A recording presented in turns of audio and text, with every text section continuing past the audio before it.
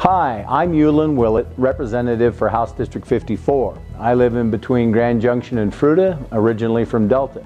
My district includes Mesa County and the western half of Delta County. I'm a semi-retired attorney, uh, having done that for about 30 years. Uh, now a little bit more about me. What people don't know about me, uh, my name is unique, of course, you can tell that, but uh, I'm Dutch German. My middle name is Van Sickles, so it's my tag is Yeulin Van Sickles Willett II. Uh, we like to say uh, on the ballot, fill it with Willett, or where there's a Willett, there's a way.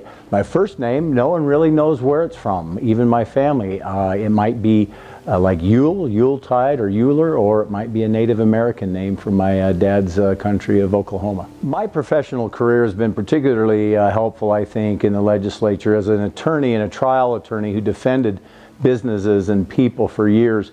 Uh, I found that useful in being able to question witnesses and experts during committee hearing. I, I found it useful in being able to uh, study the language of a proposed bill uh, and to try to find out what the true story is behind a bill, particularly useful in my service on the Judiciary Committee and some uh, interim committees. What I love most about living in Colorado is the diversity of geography and, and people. Being from the West Slope, we have canyons, uh, desert, red rock country, and then also 14,000 peaks right around us.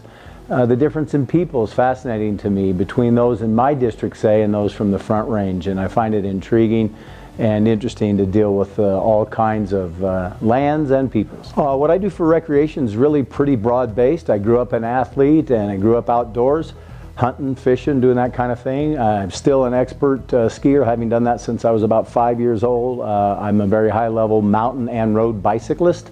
Uh, I play a little golf. I love to hunt pheasants, shoot a little pool, so I do a lot of, a lot of things and stay very active.